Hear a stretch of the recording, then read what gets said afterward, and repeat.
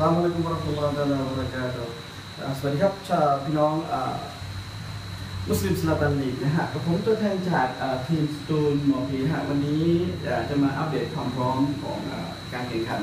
ในนัดหน้า ซึ่งเราจะพบกับทีมออตโตมันออตโตมันตมนะฮะซึ่งออตโตมันตมเนี่ยจากนัดที่ผ่านมาเนี่ยเสมอด้วยประตูที่เสมอศูนย์ศูนย์นะฮะแต่นัดนี้นะฮะ ก็จะมีแผนการอะไรมาโจมตีเรา อันนี้เราต้องติดตามไปสำหรับทีมเรานะฮะในนัดแรกเนี่ยที่เราแพ้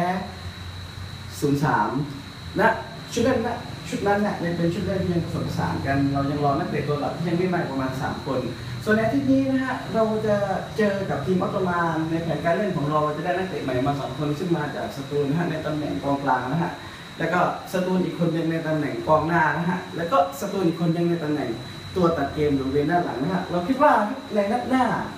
ทีมเราอาจจะเก็บ 3 แต้มนะฮะเก็บ 3 แต้มเพื่อแฟนคลับของสตูลมอผีนะฮะส่วนในการอัปเดตในนัดต่อไปเราจะให้ทุกท่านได้ติดตามกันเรื่อยๆ ผ่าน Facebook หรือว่าผ่าน Instagram แล้วก็ YouTube ของพวกเรานะสำหรับวันนี้วัสสลามสลามอะลัยกุมวะเราะห์ตุลลอฮ์วะบะเราะกาตุฮ์ขอบคุณครับ